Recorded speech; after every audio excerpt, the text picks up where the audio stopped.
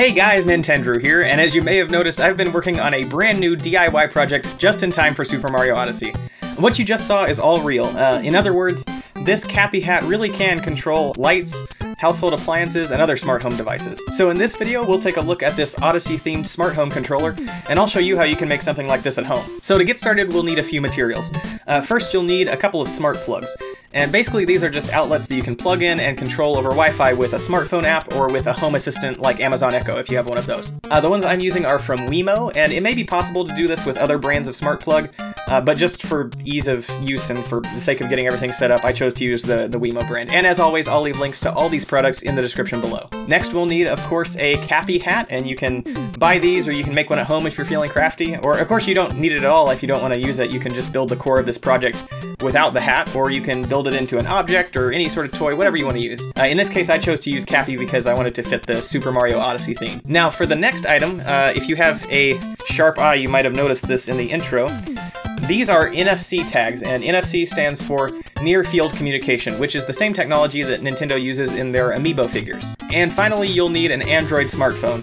For this project, I just used my Samsung phone, but pretty much any Android phone with NFC capabilities should work. Now, because I know people will ask, uh, as far as I know, there's not a way to do this with an iPhone, but I'm sure if I'm wrong about that, somebody in the comments will let us know. So, so the first step is to choose whatever device or appliance you want to be able to control with Cappy, and set it up with the smart plug. I just followed the plug's included instructions to get the device up and running, and tested the functionality with the Wemo app on my smartphone.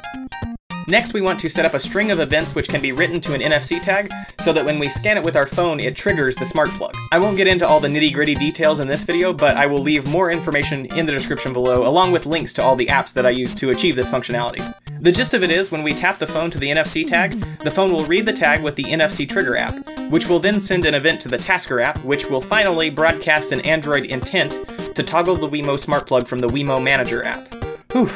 Once all that's worked out, the smart plug can be fully controlled by tapping the smartphone to the NFC tag. Next, we have to find the right spot to attach the NFC tag to the device that we're going to control. As an example, when I set up the lamps as seen in this video, I just attached the tag to the side of the lampshade. Easy enough. Now here's the tough part. uh, finally, we'll take the Android smartphone and secure it in the brim inside of Cappy, screen facing outward. Now whenever the hat is placed on the lamp, the NFC tag will trigger the phone's instructions to flip the switch. How cool is that?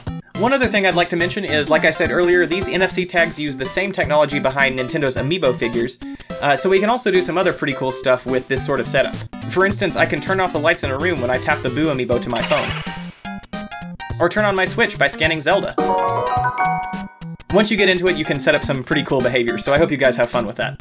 Alright, that's about it for this video. Thanks so much for watching, and I really hope you enjoyed the video. If you did, please consider subscribing to Nintendrew for all sorts of cool gaming content, and make sure to share it with any friends who might find it interesting. And as always, let me know down in the comments what you thought of the video, and if you'd like to see any other sort of projects on the channel, and otherwise, I'll see you next time.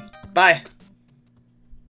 Hey guys, thanks again for watching this new DIY project and for making it all the way to the end of the video. Hope you enjoyed. If you like what I'm doing and would like to help out the channel, I've got a link to my Patreon on the right side of your screen, and otherwise I hope you'll look forward to the next one. Take care.